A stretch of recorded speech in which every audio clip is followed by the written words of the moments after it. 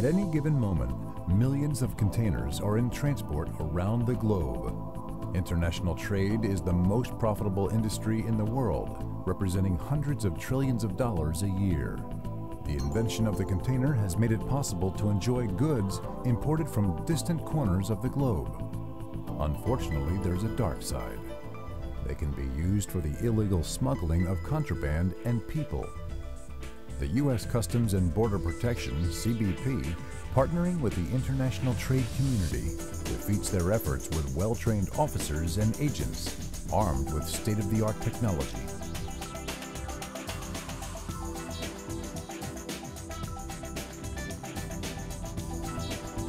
There is now a bigger threat we guard against, that one of these containers could be used to transport a terrorist or a terrorist weapon. For the same reason the container revolutionized international trade, it poses a serious risk to global security. Containers go seamlessly from ship to truck to train, making transport to and from almost anywhere achievable. Deep into our homelands and crowded cities, should an incident occur, lives lost could be in the thousands and the damage to the economy in the billions of dollars. U.S. Customs and Border Protection's priority mission is to keep terrorists and terrorist weapons from entering the United States. All containers coming into our country are screened through CBP's layered enforcement strategy. The vast majority of containers come from legitimate shippers, but even legitimate containers can be used for nefarious purposes. This is referred to as a rip-off load. Conventional rip-off loads usually involve narcotics. However, CBP's bigger concern is terrorism. The better the reputation of the importer, the more desirable that container is to the smuggler. Every container is suspect. Most of the tens of thousands of containers entering our ports every day are locked with one of these. Seals are one way Customs and Border Protection guards against smuggling and the more urgent threat from terrorists. These seals are the best indicators if a shipment has been tampered with anywhere along the way. I'm Will Rosser, and we're here with Ray Pardo at the second largest seaport in the U.S. in Newark, New Jersey. Welcome, Ray. Thank you. Ray's going to show us the tools and techniques CBP uses to inspect seals and containers. Now, Ray, you're considered an expert detecting evidence of tampering.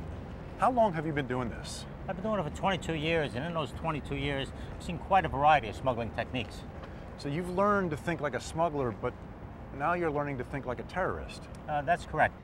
You have to focus on the fine details because that's what's going to give you the clues. And also you have to be able to utilize all the tools and technology available. So tell us about the way CBP prevents illegal shipments from entering the U.S. We use a layered enforcement strategy. The first part of that strategy is to pre-screen all manifest data to target your high-risk shipments. Another important part is the inspection of the seals and the container door locking hardware. So it's the seals that are especially effective at detecting the rip-off loads. Your seals and your locking hardware is your best way of detecting a rip-off load. And we're going to show you different types of seals, the parts of the seals, how they're counterfeited, how they're compromised, and we're also going to show you the locking hardware and how that is compromised. Let's go to it. Okay. This here is our tool truck, and we have a table set up here with some seals on it and some tools that we use for inspecting the seals. All right, let's start with the seals. It, this here is a indicative type of seal, just an indicator that somebody might have broken into a container. This doesn't provide much in the way of security. It has a unique number on it. This would fasten around the hasp, be brought around the loop here and locked into place. Okay, this is our next level of seal here, which this here is a cable seal.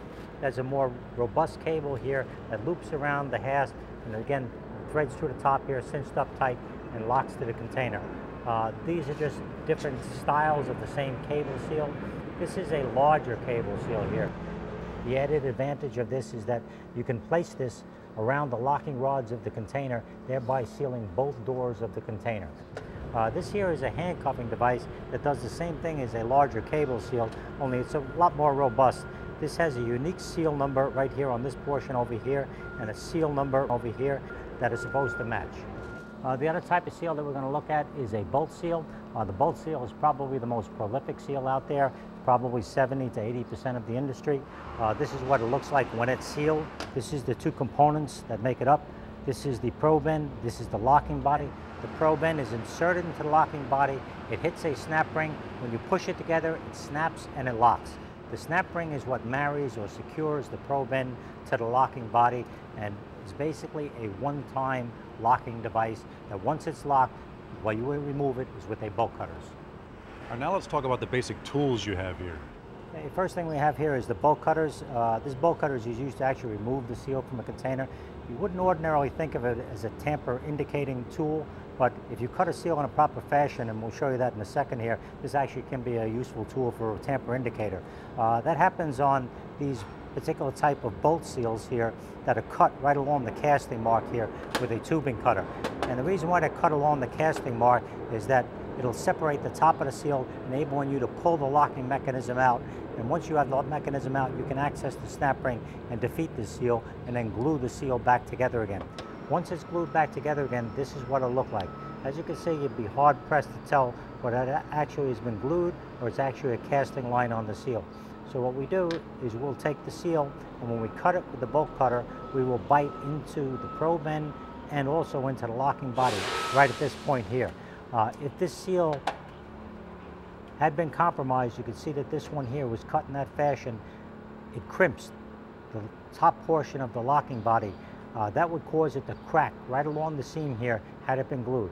This did not crack along the seam, so we know it was not attacked in that fashion. It's a very good idea to have a known good sample, and this way you can pick, your eye can readily pick out the differences. So it's very important for officers to know what a good seal looks like so they can compare it with one that's been tampered with. Absolutely. When we go out in the field, we will show you actually real world scenarios. Uh, one of the other tools that we have is a vice grip here. The vice grip pliers will be used to grab onto the bodies of seals or also on the container door locking hardware to twist and turn TIR rivets or bolts and seals and tug on them and make sure that they are indeed securely fastened. We also carry with us a multi-tool or a Leatherman that is a pair of pliers that you can basically do the same thing as the vice grip. You can grip, you can tug, you can pull, and apply a little bit of force to that seal or locking hardware to make sure that they're indeed securely fastened. This is a five power magnifier. Uh, this is important for looking at the fine details to pick out a counterfeit seal.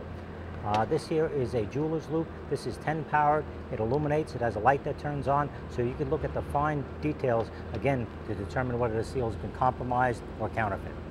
Seals that are counterfeit versus compromised, what's the difference? A compromised seal is similar to the seal that we showed you before, cut along the top. This is an original seal on the container that is disassembled and the locking mechanism is attacked so that the original seal is placed back on the container, but it has been attacked or opened. A counterfeit seal is similar to this seal over here, where we show you two seals, the last digit ending in 02. The one on the top is the original seal. The one on the bottom, if you look close at the 02 on the end, that zero used to be an 8. The center of the number was eradicated, so now it looks like a 02. So this is meant to be a reasonable facsimile of the original seal on the container, so it's a counterfeit. We've talked about the, the major types of seals here used on containers. The band seal, the stronger uh, cable seal, the handcuffing device, and the most common bolt seal. Then we talked about the four or five major types of tools. You have your multi-tool in your pouch right here, uh, the bolt cutter, the stronger vice grip, but also the magnifying glass. Let's do some inspecting now and find out how CBP detects tampering. Okay, head out to the field. Right.